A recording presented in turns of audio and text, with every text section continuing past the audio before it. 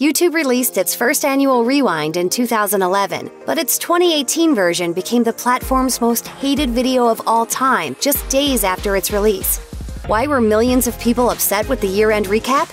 Here are all the reasons why YouTube's 2018 Rewind bombed so hard. I'm almost glad that I'm not in it because it's such a cringy video at this point. PewDiePie, also known by his real name Felix Kjellberg, wasn't asked to take part in the 2018 YouTube Rewind, marking the second consecutive year the platform's most popular creator got snubbed. Pewds has seemingly been on the outs with YouTube since racist and anti Semitic content in his videos got mainstream attention in 2017. Though Kjellberg has always insisted he was taken out of context in these reports, the controversy still cost him in the eyes of corporate YouTube. Kjellberg has remained a controversial figure, but he's also an influential one, and his absence from Rewind 2018 angered millions of his fans. Ohio born super bro Logan Paul was another high profile YouTuber that didn't make 2018's Rewind.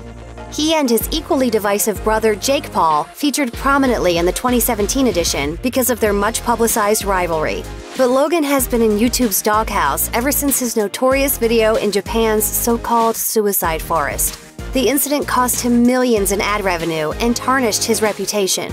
As a result, YouTube doesn't seem to want much to do with him, with the company declining to acknowledge his hyped up boxing match against KSI, which was viewed by millions of people.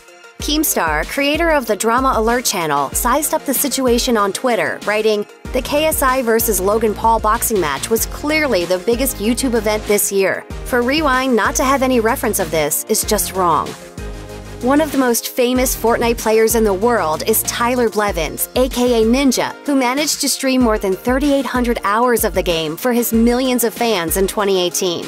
He's been described as an ideal creator for digital advertisers, could this be why YouTube chose to feature him prominently in 2018's Rewind, despite the fact that he's primarily a Twitch streamer? According to fellow Fortnite player Landon Laserbeam Ecot, Ninja's inclusion over the likes of Lachlan Power, who flew for 15 hours to film for Rewind only to have his part cut, was an insult to YouTube's creators. As Ecot summed up in a Twitter post, you literally can't get more tone deaf.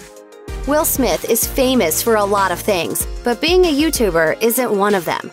So when the 2018 Rewind inexplicably took place in the star's imagination, many people cried foul. Smith does have a YouTube channel, which was created in December 2017. While he has more than 4 million subscribers, his foray into vlogging hasn't won everybody over. Some commentators have described the actor's videos as reaching for relevance a little too transparently, We'll give him this, though. His enthusiastic binocular moment makes for a pretty good meme to close out the year with. Will Smith isn't the only superstar trying to get in good with YouTube. The platform has also become a battleground for late night talk show hosts pushing viral content.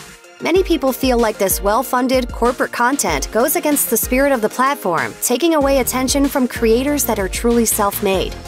2018's Rewind included appearances from The Daily Show's Trevor Noah and Last Week Tonight's John Oliver, who have their own platforms on Comedy Central and HBO. Making things more embarrassing is the fact that Noah and Oliver were roped into performing, you guessed it, Fortnite dances. It makes for a terrible rewind, but it's pretty good for a cringe compilation. Shane Dawson's absence from the YouTube 2018 Rewind video caused its fair share of anger, with his documentaries on internet personalities producing what The Verge called top tier online gossip.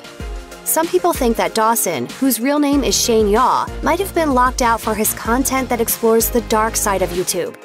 His most talked about docuseries in 2018 was The Mind of Jake Paul, in which he explores the possibility that Paul is a sociopath.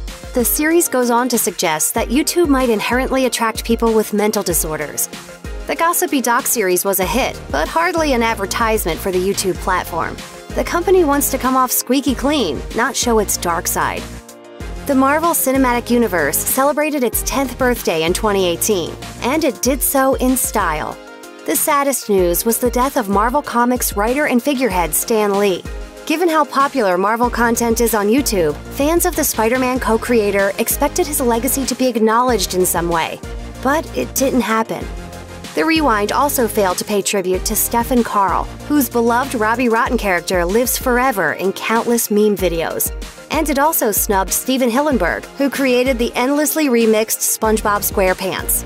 You can argue that the Rewind isn't the place for memorials, but if that's the case, then it doesn't seem like the right place for Will Smith to show up either.